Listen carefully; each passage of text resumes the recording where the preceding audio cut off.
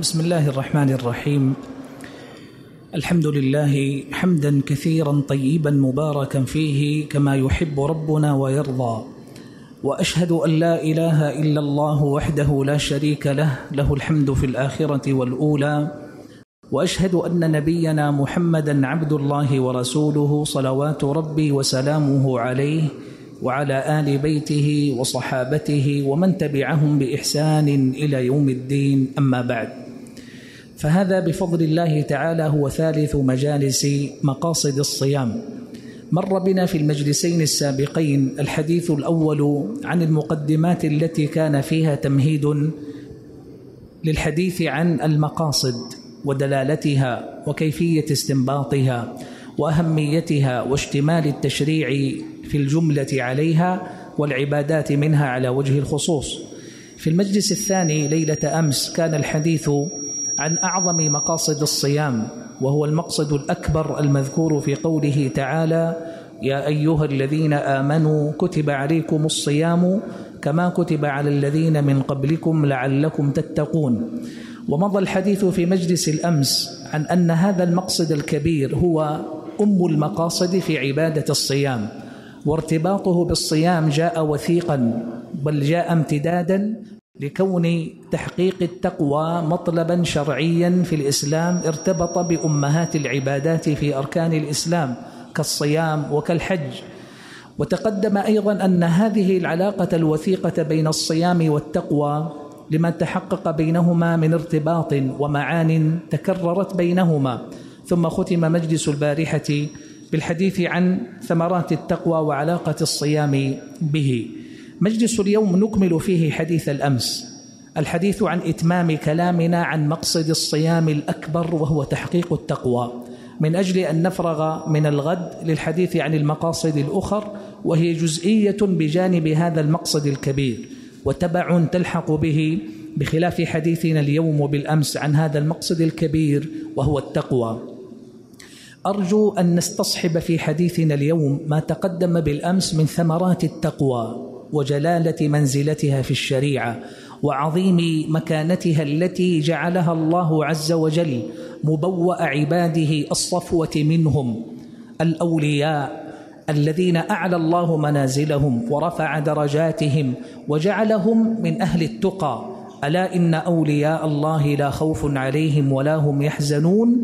الذين آمنوا وكانوا يتقون. فينبغي أن يكون هذا مستصحبا على الدوام في حديثنا اليوم الذي سنتناول فيه عنصرين اثنين كبيرين. أحدهما هو الحديث عن سبل تحقيق التقوى بالصيام والآخر عن مفسدات التقوى أو نواقضها. بين يدي هذين العنصرين سأسمعكم جملة من كلام أهل العلم في ارتباط الصيام بالتقوى تاكيدا لما مر معنا في حديث الأمس. في تفسير قول الله جل جلاله يا أيها الذين آمنوا كتب عليكم الصيام كما كتب على الذين من قبلكم لعلكم تتقون. قال ابن كثير رحمه الله لأن الصوم فيه تزكية للبدن وتضييق لمسالك الشيطان. يريد أن يفسر علاقة الصيام بالتقوى. كيف يكون الصيام لعلكم تتقون؟ قال لأن الصوم فيه تزكية للبدن وتضييق لمسالك الشيطان. قال شيخ المفسرين الإمام الطبري رحمه الله أي لتتقوا أكل الطعام وشرب الشراب وجماع النساء فيه. هذا يا إخوة يأتي من الفعل اتقى فعل لازم أو متعدي؟ الفعل اتقى. هل هو من الأفعال اللازمة التي تكتفي بالفاعل دون المفعول؟ كما تقول قام كما تقول جاء كما تقول ذهب. هذه أفعال لا تحتاج إلى مفعول. قام محمد وذهب أحمد وجاء زيد. ما تحتاج إلى مفعول. لكن مثل أكل وشرب هذه تحتاج إلى مفعول فيقال لها أفعال متعدية. الفعل اتقى هل هو لازم أو متعدي؟ متعدي. طيب الآية قالت لعلكم تتقون وما ذكرت المفعول فما تقديره؟ تتقون ماذا؟ قال الإمام الطبري رحمه الله تتقوا أكل الطعام وشرب الشراب وجماع النساء يعني تتقوا المفطرات في الصيام. فهو قدر مفعول التقوى المحذوف ها هنا بكونه اتقاء ما يفطر الصائم في صومه. ومن ذهب إلى أنه التقوى بمعناها العام فماذا قدر؟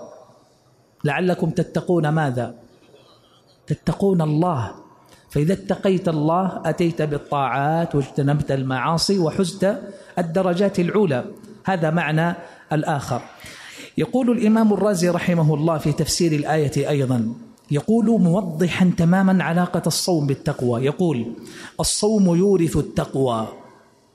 لما فيه من انكسار الشهوة وانقماع الهوى فإنه يردع عن الأشر والبطر والفواحش ويهون لذات الدنيا ورياستها وذلك لأن الصوم يكسر شهوة البطن والفرج وإنما يسعى الناس لهذين ما هما؟ شهوة البطن والفرج قال وإنما يسعى الناس لهذين والصوم ماذا يفعل؟ قال الصوم يكسرها. قال وإنما يسعى الناس لهذين فمن أكثر الصوم هان عليه أمر هذين وخفت عليه مؤونتهما فكان ذلك رادعا له عن ارتكاب الحرام والفواحش ومهونا عليه أمر الرياسة في الدنيا وذلك جامع لأسباب التقوى. فيكون معنى الآية فرضت عليكم الصيام لتكونوا به من المتقين الذين أثنيت عليهم في كتابي وأعلمت أن هذا الكتاب هدى لهم. في قوله تعالى ذلك الكتاب لا ريب فيه هدى للمتقين. فكأنه يقول كونوا مع الصائمين لتكونوا متقين. فإذا أصبحتم متقين كان هذا الكتاب هدى لكم. يعني ستجدون هداية القرآن إذا وجدتم التقوى. أين نجدها في الصيام لعلكم تتقون. يقول ابن القيم رحمه الله عن الصيام فهو لجام المتقين وجنة الأبرار المحاربين ورياضة الأبرار والمقربين وهو لرب العالمين من بين سائر الأعمال فإن الصائم لا يفعل شيئا.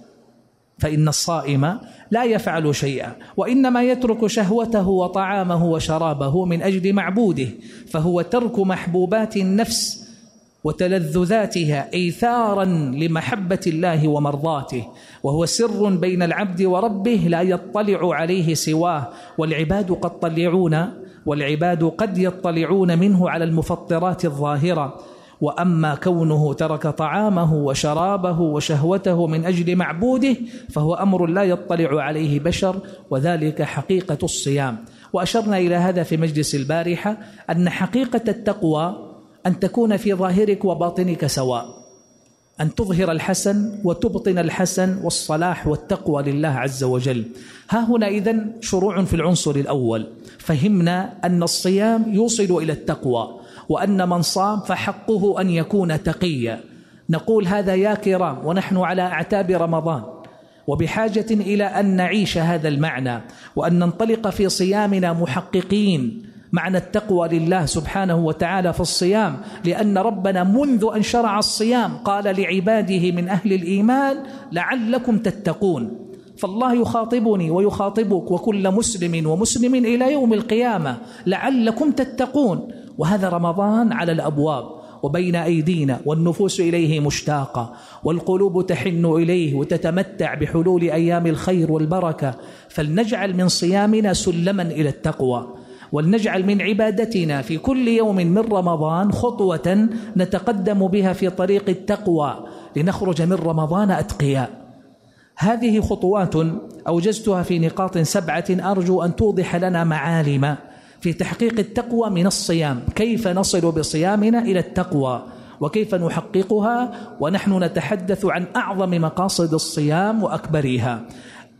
الخطوة الأولى قصد ذلك ومراعاته وعدم الغفلة عنه. الخطوة الأولى تبدأ من هنا من أن نستشعر أهمية هذا الموضوع وأن نجعله نصب العينين في الصيام. فإذا أهل هلال رمضان وأعلن لأمة الإسلام أن الليلة هي أولى ليالي رمضان وعقدت العزم على أن تكون هذا الشهر صائما متقربا فيه إلى الله تؤدي الواجب وتقوم بركن الإسلام اجعل في قلبك معنى كبيرا أنك تريد أن تحقق التقوى. وأن الله إذ ناداك مع من نادى في قوله يا أيها الذين آمنوا فدخلت فيه أنا وأنت وكل المسلمين والمسلمات. دخلنا والله عز وجل نادانا. قال لعلكم تتقون. يا أيها الذين آمنوا لعلكم تتقون. فلما جاء الشهر وهل الهلال اجعل نفسك متجها إلى الجواب إلى إجابة هذا النداء لبيك يا رب إني صائم بعونك وتوفيقك. وإني عازم يا رب على أن أكون من المتقين لك بهذا الصيام وأن أحقق معناه. عدم الغفلة اجعل سؤالك الكبير في شهرك المقبل كيف أكون تقيا. ثم إذا دخل الشهر فصمت يوما ويومين وثلاثة. اجعل هذا السؤال حاضرا أمامك على الدوام. قد صمت يوما ويومين من رمضان. فكم خطوة حققت في طريق التقوى؟ أنا هنا يجب أن أستشعر بكل صراحة أنني مع كل يوم أصوم من رمضان أنني أتجرع جرعة في التقوى يا كرام. وأنني بعد خمسة أيام مثلا إن صمت من رمضان علي أن أجد في نفسي من الإيمان من الخير من الطاعة من الإقبال من الإخبات من القرب من الله ما لم أكن أجده قبل ذلك. ولا تسلم ولا تتعجب. أما صمت؟ أما أقبلت؟ إذا حقك أن تكون تقيا. إذا الخطوة الأولى تبدأ منها هنا. استشعار هذا المعنى وقصده وجعله نصب العينين مع إقبال رمضان والدخول في صيامه. النقطة الثانية تحقيق صيام القلب مع صيام البطن والفرج. فإذا صمت فلا يكن حظك من صيامك الإمساك عن الطعام والشراب والجماع فحسب. فهذا هو هيئة العبادة الظاهرة التي ابتدأنا الحديث عنها منذ أول يوم. وإذا كان هذا هو الجانب الظاهر من العبادة فلها باطن. صوم البطن صوم الفرج عن المفطرات في رمضان لا بد أن يصحبه شقه الآخر شطره الثاني العناية بحقيقة العبادة وجوهرها بروحها الموصل إلى التقوى وهو صيام الباطن. صيام الباطن صيام القلب وصيام القلب يتعين فيه أن نعتني بكل ما يحقق للقلب معنى الصيام في رمضان كما يصوم فمك عن الطعام والشراب كما يصوم فرجك عن الشهوة ينبغي أن يصوم قلبك أيضا عن مفطراته. وقوام صيام القلب شيئان الإخلاص والتعظيم لله. أما الإخلاص فأعظم من أن نتكلم عنه في مجلس كهذا.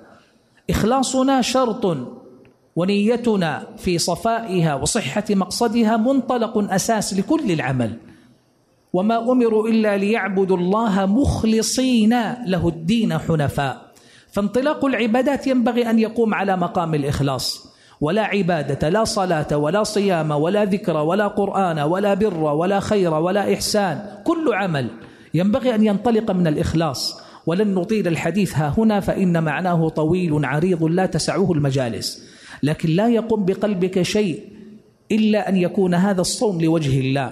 تريد أن تمتثل أمر الله تريد أن تنال موعود الله تريد أن تظفر بما أعد الله لأهل الصيام والمخبتين والمقبلين إلى طاعته. هذا الإخلاص. وأما التعظيم فأن يمتلئ صدرك عبد الله. عندما تمتثل أمر الله أنك من تعظيمك لله تعظم ما أمر الله. فمن عظم الله عظم دينه عظم حدوده عظم أمره ونهيه عظم العبادة له سبحانه. هذا الصيام ستصومه لمن؟ لله. فإذا كنت معظما لله ستجعل صومك مليئا تعظيما لله. فما ترضى والله؟ أن تصوم يوم تصوم وصومك متهتك متخرق مليء بالعجز والهوان مليء بالأمور التي تنزل من حرمة الصيام. ما ترضى لهذا إذا امتلأ قلبك تعظيما لله سبحانه وتعالى. فإذا التعظيم أيضا التعظيم لله هو أيضا من أسس العبودية. ليس في الصيام في كل العبادات. قوام الصلاة التعظيم قوام الصيام التعظيم الحج الزكاة كل أعمال الإسلام قوامها التعظيم لله.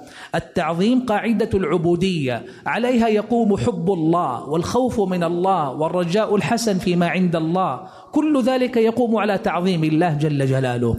الصيام واحدة من هذه العبادات. إذا أردنا أن نبني بنيان الصيام في رمضان على أساس التقوى ينبغي أن نمهد له بتعظيم عظيم لله سبحانه وتعالى. فاجعل من صيامك في في في صيام قلبك. اجعل منه معنى يمتلئ بمعنى الإخلاص والتعظيم. إذا هذان شيئان هما قوام هما قوام صيام القلب في رمضان وفي غير رمضان. فإذا تحقق الإخلاص والتعظيم أتتك الأمور الباقية تباعا. من صيام القلب تنقيته وتطهيره وصفاؤه من كل أمراضه. أمراض القلب نفاق شك شبهة أمراض القلب حسد غل كبر عجب أمراض القلب الفتاكة الهادمة لإيمان العبد وعمله الرياء الشرك الأصغر النظر إلى غير الله في أداء العبادة التطلع إلى ثناء الناس ومدحهم الرياء والسمعة وترصد الحمد والكلمة الطيبة والثناء المحمود هذا كله جزء من المسارب الخفية التي التي يتسرب منها الإخلاص في القلب. إذن كل ذلك يقوم في معنى صيام القلب وهو قائم كما قلت على معنى الإخلاص والتعظيم. يدل على ذلك يا كرام الحديث القدسي الذي مر معنا البارحة. كل عمل ابن آدم له الحسنة بعشر أمثالها.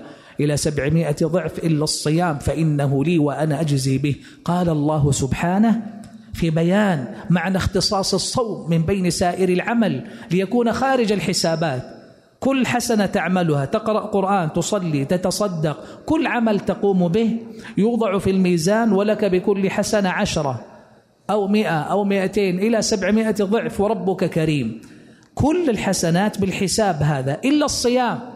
يخرج عن ميزان الحساب هذا وأوكله الله إلى ذاته العلية. قال إلا الصوم فإنه لي وأنا أجزي به.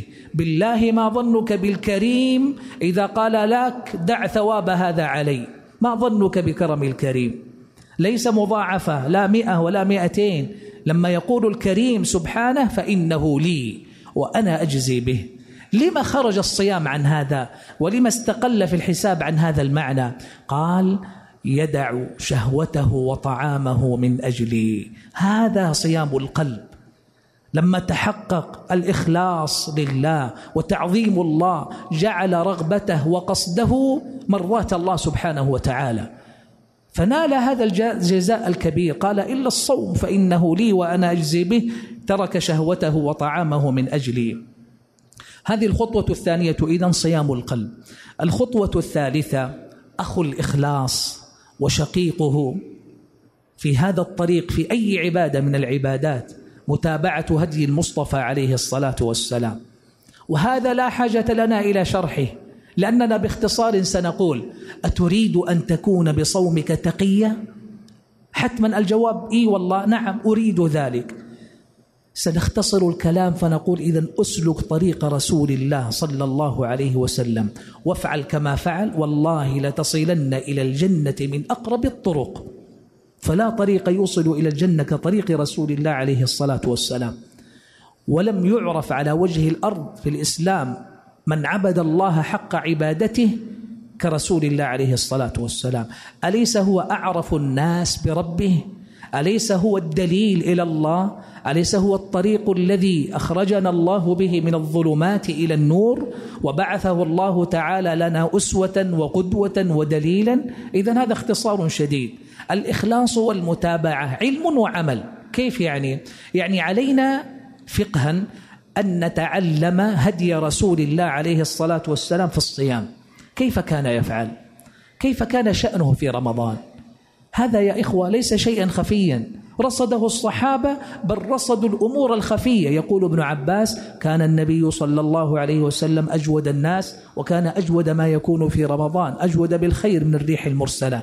كانوا يلحظون فرقا كانوا يلحظون في أيام رمضان في حياة رسول الله عليه الصلاة والسلام شيئا من الاختلاف. رصدوا هذا الجانب الخفي. أما العبادة الظاهرة فأمرها واضح. كان عليه الصلاة والسلام يصوم. كان إذا أفطر أفطر على رطبات فإن لم يكن فعلى تمرات فإن لم يكن حسى حسوات من ماء. كان يحب لنا تعجيل الفطر وتأخير السحور. كان عليه الصلاة والسلام يقوم بين يدي ربه. كان يدعو دعوات في الصيام.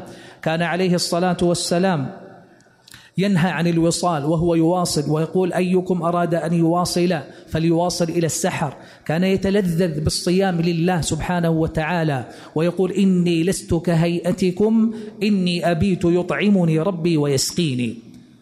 علينا أن نعيش في هدي رسول الله عليه الصلاة والسلام وأن ننغمس فيه بين يدي رمضان.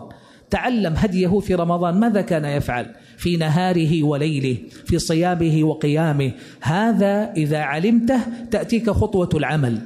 فحاول أن تتقفى آثاره عليه الصلاة والسلام بكل ما استطعت وأن تقتدي به في شأنه. هذا طريق موصل إلى التقوى ولا بد. ومن أراد أن يصف وصفا دقيقا كيف يصل العبد إلى مقامات الكمال؟ كيف يحقق رضا الله كيف يدخل جنة عرضها السماوات والأرض فأعطه الوصفة باختصار فقل له ها عليك بطريق رسول الله صلى الله عليه وسلم واسلك سنته تجد نفسك ولا بد واصلا أعلى المقامات والدرجات. الخطوة الرابعة استصحاب فضائل الصوم في رمضان فهذا من خير ما يعين على تحقيق معنى التقوى في الصيام. ليس من فراغ يا أحبة أن جاءت تلك النصوص الشرعية كثيرة في بيان فضائل الصيام وما أعد الله للصائمين. السؤال حقيقة هل نستشعر ذلك مع كل يوم نصومه في رمضان؟ ونستشعر أننا بصيامنا فعلا نحقق تلك الفضائل ونحوز تلك الدرجات العلى والنعيم المقيم والخير العظيم؟ يعني مثلا قوله عليه الصلاة والسلام من صام يوما في سبيل الله باعد الله وجهه عن النار سبعين خريفا. من صام يوما في سبيل الله فرضا كان أو نافلا فما بالك هو فرض في رمضان؟ هذا المعنى أعظم. فإذا صمت اليوم الأول من رمضان سيكون شعورك أحمدك يا رب أبعدتني عن النار سبعين سنة. فإذا صمت اليوم الثاني جعلك الله بعيدا عنها مئة وأربعين سنة فإذا أتممت اليوم الثالث تباعدت مئتي وعشر سنوات وهكذا. وإذا بك تشعر بمعنى لا تجده عندما تغيب عنك هذه الفضائل. صدقا كل عمل صالح. إذا أردت أن تنشط فيه وأن تكون أكثر إخلاصا لله فيه استشعر فضائل العمل. اسأل نفسك لماذا يخبرنا عليه الصلاة والسلام بهذا؟ صدقا هو يريد إغراءنا والله. يريد حثنا يريد أن تنهض النفوس للصيام دون ما ثقل ولا ملل ولا تكاسل. لا تصم مستثقلا دخول الشهر متمنيا فراغه. لا تصم ولو كنت من أصحاب التعب أو المرض الذين يشق عليهم الصوم. إياك أن تصوم وفي شعورك شيء من الضجر من الانزعاج من التعب الذي ربما غلب على مشاعرك فأصبحت ضيق النفس وشيئا ما يشعرك أنك لو وددت أنه أذن المغرب فتخلصت من هذا التعب والعناء. والله يا أحبة من تلذذ بصومه وجد في تعبه في الصيام لذة وأنه كلما وجد مشقة استمتع بها. ليس هذا دعوة إلى البحث عن المشقة في العبادة لا لكنها متى أتتك في طريقك؟ استمتعت بها. وفرحت لأنها مشقة في سبيل الله وأنها شيء من التعب والنصب اللذيذ في طاعة الله. وأنك إذا وجدت الله ولقيته يوم القيامة ستجد هذا ثقيلا في الميزان مع أنه صيام يوم لكنه ليس كسائر الأيام. لأن قلبك امتلأ فيه رضا فرحا لذة. أنت ها هنا عبد الله آثرت مرضات الله على مرضاتك أنت. وآثرت حكم الله على هوى نفسك أنت. أتعبت بدنك ولم تجد لذلك شيئا من الضجر والانزعاج لأنك قدمت ما أمر الله عز وجل. هذا لون من استشعار الفضائل. الصوم عموما فيه هذا الثواب. الآن أخبرني مع أن ثواب الصوم دائما هكذا فماذا تفهم من تخصيصه عليه الصلاة والسلام؟ صيام رمضان تحديدا بأمور أخر. من صام رمضان إيمانا واحتسابا غفر له ما تقدم من ذنبه. طيب الصيام عموما ينال هذا الأجر. لماذا يأتي رمضان تحديدا بهذا الثواب؟ ويخبرنا أن بوابة من بوابات الغفران تفتح للعباد في رمضان بصيامهم. هل جربت أنت تستصحب هذا المعنى في صيامك؟ كيف يهون عليك التعب والنصب والجوع والعطش؟ بل لا ليس كيف يهون كيف تستمتع؟ كيف ينقلب عندك الجوع والعطش والتعب والنصب؟ كيف ينقلب عندك متعة ولذة لأنك فعلا تشعر أنه باب يقودك إلى غفر له ما تقدم من ذنبه. بهذا الشرط إيمانا واحتسابا. املأ صدرك بهذا المعنى. هذا من استشعار فضائل الصيام. من فضائلها التي وردت في السنة ونحن نعيش أيام رمضان وينبغي أن تكون حاضرة قوله عليه الصلاة والسلام في مدح الصائم والصائمين ولا خلوف فم الصائم أطيب عند الله من ريح المسك. يا أخي أي متعة يجدها الصائم؟ خلا جوفه فرغ بطنه وجف ريقه لكنه مع ذلك مستمتع لأنه في وصف محمود عند الله محبوب عند الله. والله سينقلك هذا معنى كبيرا في الصيام. ماذا تفهم من قوله عليه الصلاة والسلام؟ ومن كان من أهل الصيام دعي من باب الريان كما في الصحيحين. تستشعر أنك في رمضان مستعد أن تدعى يوم الجنة من باب الريان لأنك من أهل الصيام. والحديث الذي أخرجه النسائي وهو صحيح إن في الجنة بابا يقال له الريان. يقال يوم القيامة أين الصائمون؟ هل لكم إلى الريان؟ من دخله لم يظمأ أبدا. فإذا دخلوا أغلق عليهم فلم يدخل منه أحد غيرهم. شعرت أنك من بين العباد يوم القيامة. ستكون في فئة مخصوصة. ستدخل من هذا الباب. دون الخلائق دون الأمم التي تتجه إلى أبواب الجنان. يا أخي وجود هذه المعاني معك في صومك في كل يوم من أيامك وأنت تتسحر وأنت تمر بساعات النهار تستشعر ما أنت فيه من الفضائل وما تتقلب فيه من الخيرات والله ينعش في داخلك شعور التقوى مع الصيام. ويحيي في قلبك هذه المعاني العظام. هذا طريق. لماذا جاءت هذه الأحاديث؟ لماذا رغب المصطفى عليه الصلاة والسلام؟ لماذا وعدنا؟ لماذا أخبرنا؟ لماذا منانا؟ لماذا جاء يشوقنا لهذه المعاني؟ من أجل أن نقرأها أو نسمعها من خطيبنا قبل رمضان ثم تغيب عنا طيلة الشهر؟ لا. هي من أجل أن نعيشها كل يوم في رمضان. نعيشها نتذكرها نستصحبها ترتقي بصيامنا تبلغنا درجة التقوى. هذه النقطة الثالثة الرابعة. نعم فرغنا من الرابعة. أما الخامسة فمن السبل التي تعين على تحقيق التقوى في الصيام أيها الكرام مجاهدة النفس في الصيام والاستعانة والاستعانة بالصبر حتى نصل إلى درجة التقوى. يقول عليه الصلاة والسلام الصوم جنة. ما معنى جنة؟ وقاية. وقاية من ماذا؟ في كثير من الألفاظ والحديث صحيح في كثير من الألفاظ الصوم جنة. في بعض الألفاظ جنة من النار يعني يقيك من عذاب الله.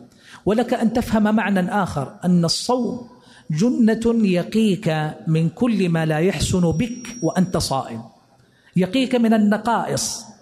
يعني ما ينبغي أيها الصائم أن يبدو عليك وأنت صائم ما ينبغي أن يبدو عليك شيء من النقائص من السيئات والمعاصي من المثالب من الأمور التي يمكن أن تكون مذمة وقدحة. ما ينبغي. ليش؟ لأنك صائم. والصوم جنة. اسمع يقول عليه الصلاة والسلام فإذا كان يوم صوم أحدكم فلا يرفث ولا يجهل فإن امرؤ شتمه فليقل إني صائم.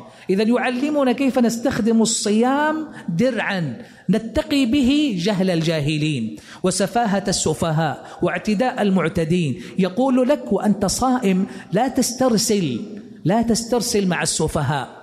إياك أن تنجر قدمك فترد سيئة بسيئة وسوءا بسوء. لا يليق لك ذلك لأنك صائم. الصوم جنة. يعلمنا عليه الصلاة والسلام. إذا هذا الطريق يا كرام. وهو منهج عملي علينا جميعا أن نتواصى به. رمضان على الأبواب. وسواء صمت رمضان أو أياما أخر من التطوع في كل العام.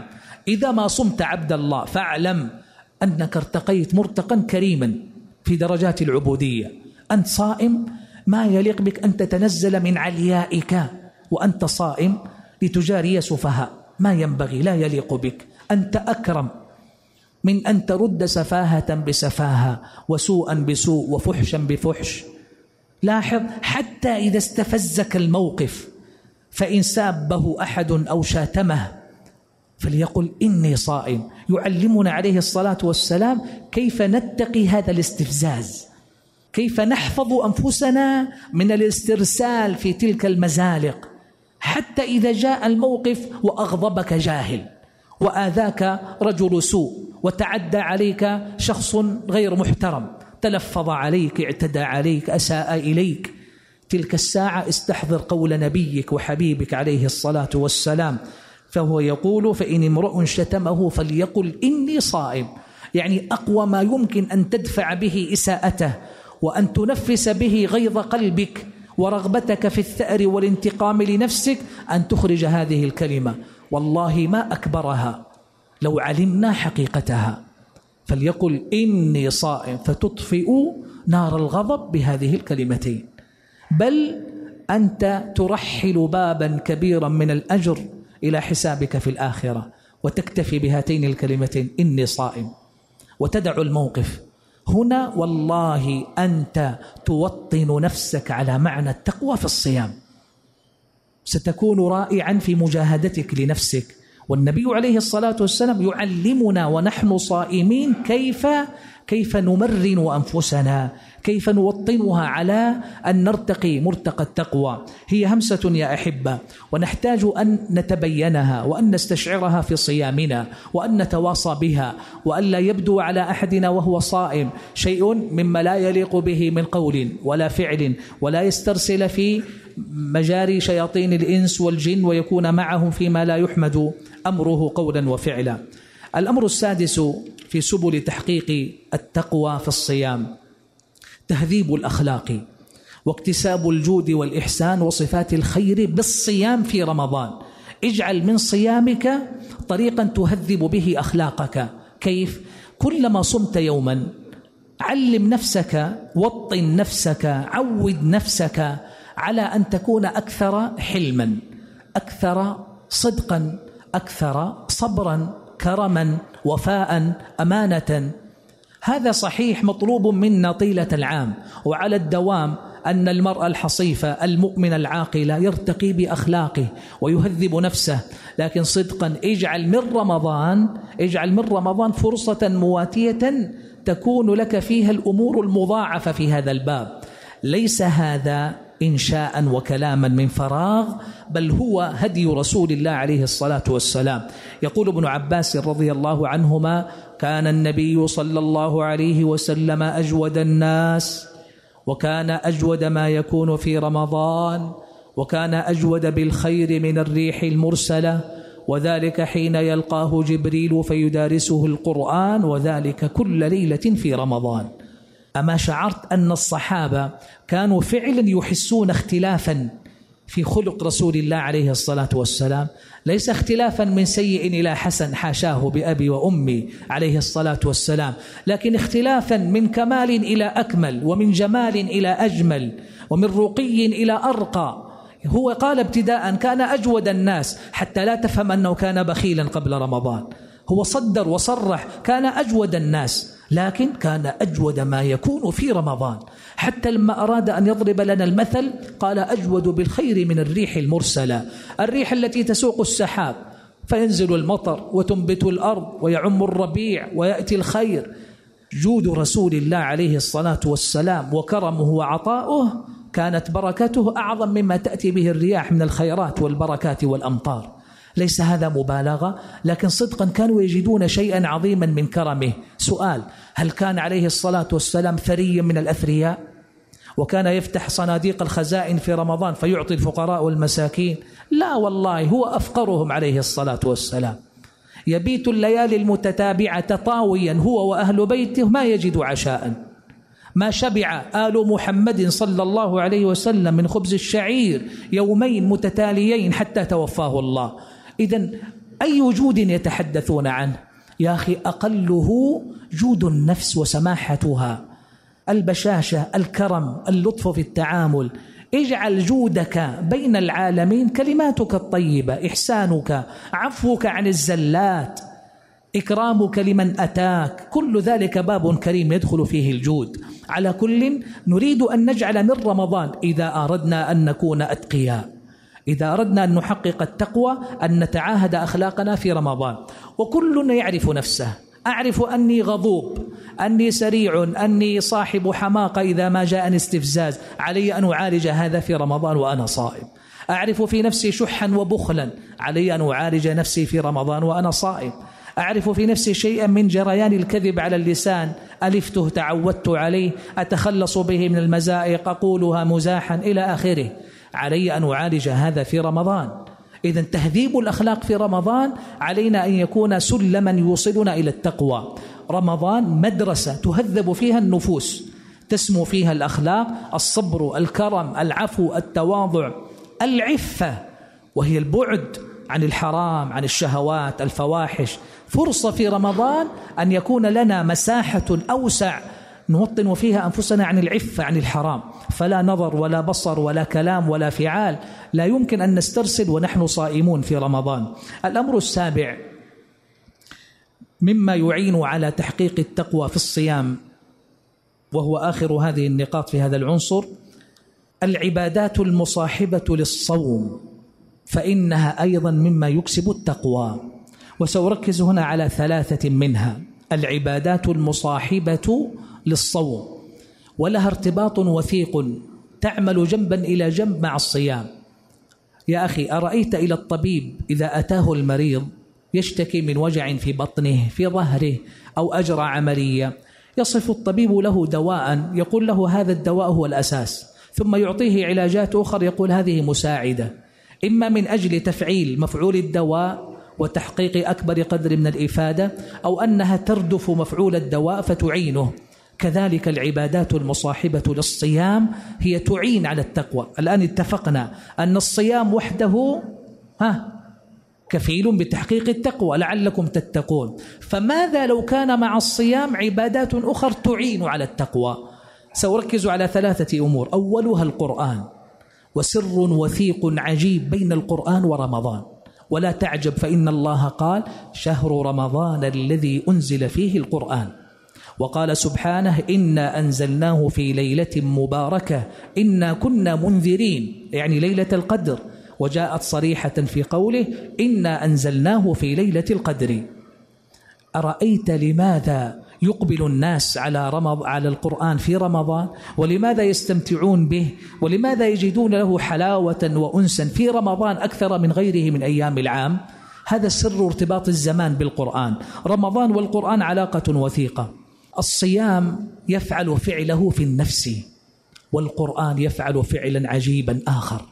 الصيام يهذب الباطن يجفف منابع الشهوة يهيئ النفس لأن تكون قابلة لكل عمل صالح وبر وتقوى. فإذا جاء القرآن وجد أرضا خصبة وجد قلبا طريا إذا جاء القرآن وجد أرضا صالحة فما أن يسقط ماء القرآن حتى تنبت. أفانين القلب عبادة وصلاح وطاعة وتقوى. هذا سر ارتباط الصيام بالقرآن يا كرام. في الحديث الذي رواه أحمد وهو صحيح وحسنه الألباني في المشكاة وفي صحيح الجامع يقول عليه الصلاة والسلام الصيام والقرآن يشفعان للعبد. شوف كيف ربط بين الصيام والقرآن. يقول الصيام يقول الصيام أي رب إني منعته الطعام والشهوات بالنهار فشفعني فيه. ويقول القرآن ربي منعته النوم بالليل فشفعني فيه. قال فيشفعان. يشفع لك صيامك ويشفع لك قرآنك. فرحم الله عبدا. أراد أن يبلغ بصيامه درجة الأتقياء أخذ حظه من القرآن ليقوده إلى التقوى. وجعل القرآن حليفا للصيام فآزر صيامه بقرآنه. وجعل حظه من صيامه مع القرآن حظا لا ينفك عن الصيام. فهذا أكثر عونا على ارتقاء درجات التقوى بالصيام في رمضان. لا تنسى قول ابن عباس رضي الله عنهما قبل قليل وكان أجود ما يكون في رمضان ثم علل ماذا قال؟ وذلك حين يلقاه جبريل فيدارسه القرآن. يعترف الصحابة أن سرا عجيبا للقرآن في رمضان كانوا يجدون فيه الأثر. في حياة رسول الله عليه الصلاة والسلام. أما العبادة الثانية فهي القيام. قيام الليل صلاة الليل. وقيام الليل يجمع بين الصلاة والقرآن فإنها صلاة وللصلاة فضلها. وفيها قراءة قرآن وتطويل فيه وللقرآن فضله. في الحديث من قام رمضان إيمانا واحتسابا غفر له ما تقدم من ذنبه. اربط هذا الحديث بحديث من صام رمضان. ألم نقل إن الصيام في كل أيام العام فضله وعمله محسوب عند الله فلماذا يخص رمضان؟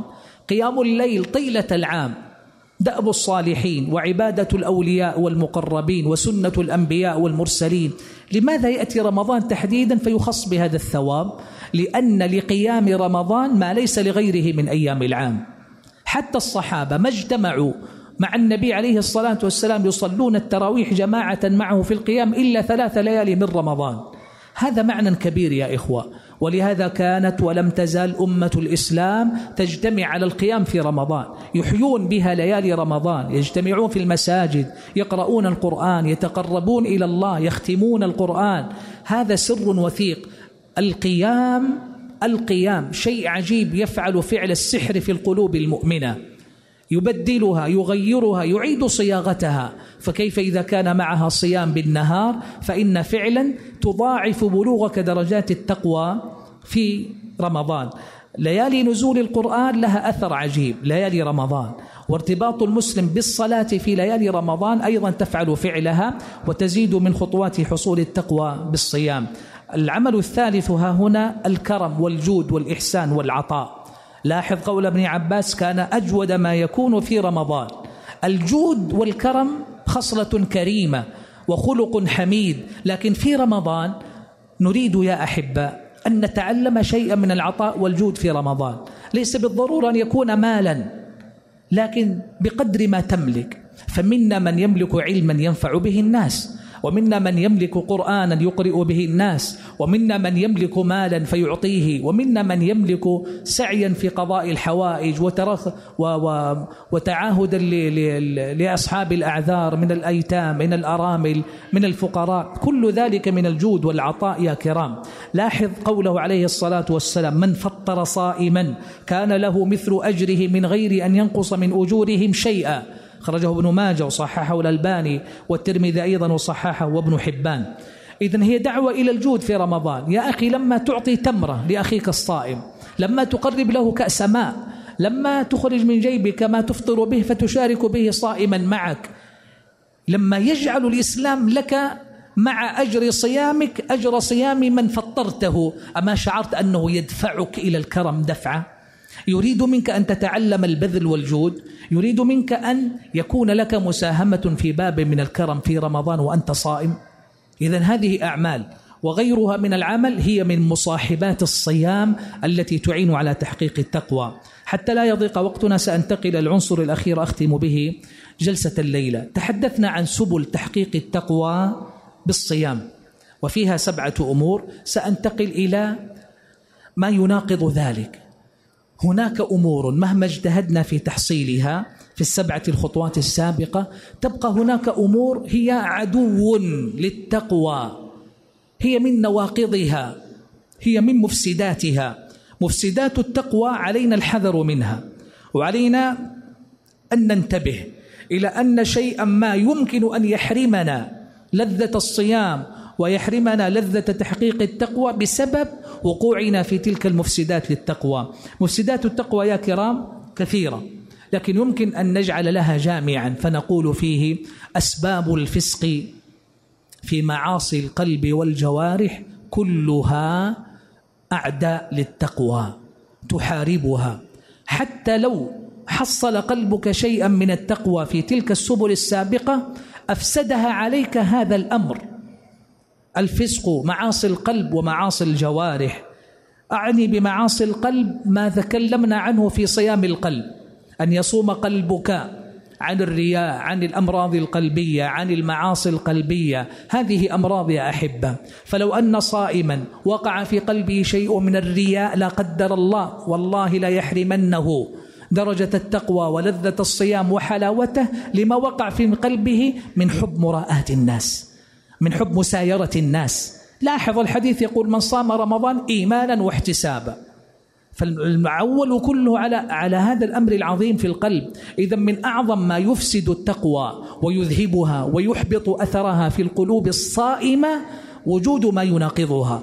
ما يناقضها حسد كبر غل عجب نفاق شك شبهة في القلب الرياء. كل ذلك يفسد عليك لذة التقوى. هي ابدا كالداء. إذا وجد في القلب فتك بكل شيء صالح يأتي إلى القلب ويدخل إليه فيهجم عليه ويفسده ويتآكل ويتلاشى الأثر. هذا إذا قلناه في معاصي القلب فهو كذلك في معاصي الجوارح سواء بسواء. وللحق يا كرام معاصي الجوارح ذنوب وسيئات البصر والسمع واللسان واليدين والرجلين. هذه كأعواد ثقاب نار تشتعل فتحرق حسنات العبد وتنسف كل أثر لخير وبركة ونفحة وهبة وتقوى يجدها القلب بالطاعة والإيمان. اسأل نفسك كم صمنا كم صلينا كم تصدقنا كم فعلنا؟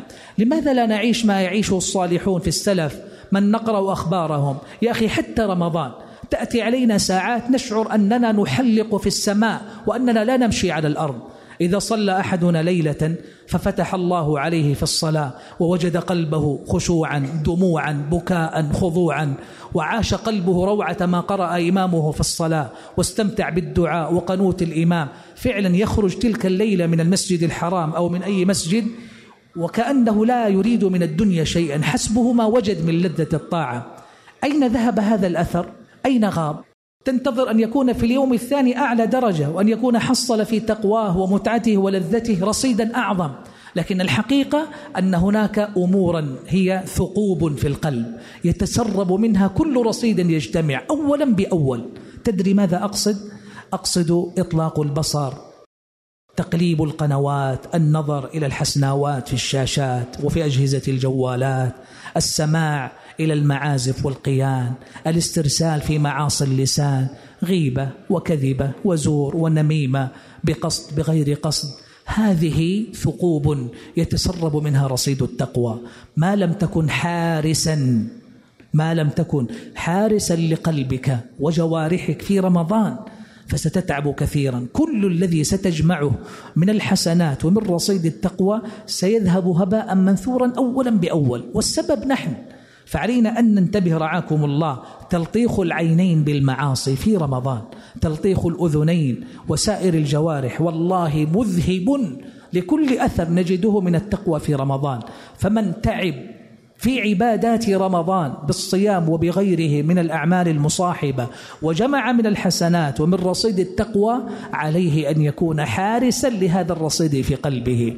إياك أن يتسرب فإن ثمة أعداء. للتقوى في القلوب وأنت تعلم قول الله سبحانه وتعالى ان الذين اتقوا. شفت إذا كنا أتقياء سنطبق هذه الآية. ان الذين اتقوا. اذا مسهم طائف من الشيطان ها تذكروا فإذا هم مبصرون. ما يخدعك الشيطان. فإذا جاءك الشيطان وأنت صائم وتظن أنك قد وجدت شيئا من التقوى تسلح بهذا السلاح. فإذا أتاك ووسوس لك ووقع في خاطرك أن تبصر أن تسمع أن تفعل. تذكر الآية إذا مسهم طائف من الشيطان تذكروا فإذا هم مبصرون. جاء هذا عقب قوله وإما ينزغنك من الشيطان نزغ فاستعذ بالله إنه سميع عليم. فأبدا أبعد شيطانك وحاربه ووالله إن الشيطان ليتعب مع الصالحين وأهل الإيمان في رمضان لأنهم يجاهدونه بالصيام وبالقرآن وبالقيام. فيريد أن يظفر من أحدهم بزلة بسيئة بمعصية. اغلب شيطانك هذه جولة يفوق فيها أهل الإيمان شياطينهم ويغلبونهم وهم يتقوون على ما في رمضان من البركات. أما تصفد الشياطين؟ أما تفتح الجنان؟ أما تغلق أبواب النيران؟ هذا سمو روحي عجيب. علينا أن نوظفه لمزيد من التقوى في القلوب. أخيرا يا كرام هنا نداء إلهي كريم في رمضان. يا باغي الخير أقبل. ويا باغي الشر أقصر افتح لها قلبك لا أذنيك. واجعل صيامك منطلقا لتحقيق التقوى. أسأل الله جلت قدرته أن يبلغنا وإياكم أعلى درجاتها. وأن يرثنا وإياكم فيها أعظم الحظ والنصيب ونجعلنا في صيامنا وقيامنا من الصائمين القائمين المخلصين المتقين ويكتبنا وإياكم في عداد المقبولين. هذا مجلس الليلة ونكمل غدا في المجالس في المقاصد التابعة أو الجزئية إن شاء الله تعالى. والله أعلم وصلى الله وسلم على نبينا محمد وعلى آله وصحبه أجمعين.